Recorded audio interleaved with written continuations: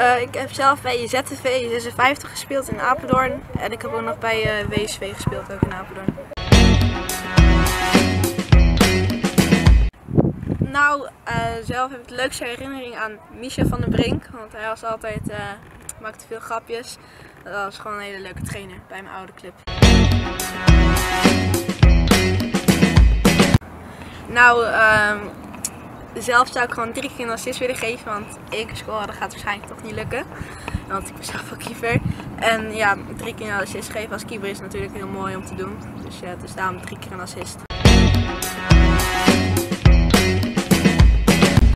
Nou, uh, zelf is mijn favoriete speler uh, Jay Goorter.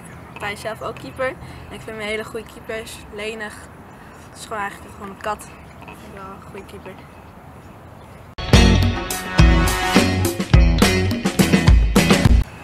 Dat is eigenlijk gewoon een hele makkelijke vraag. Patat. Ja, patat is gewoon wat lekkers, want ik weet niet. Ja, patat.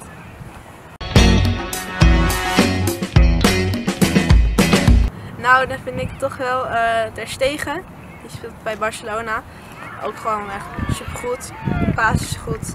Gaat altijd vol 100% voor de bal. Dus daarom kies ik zelf Ter Stegen.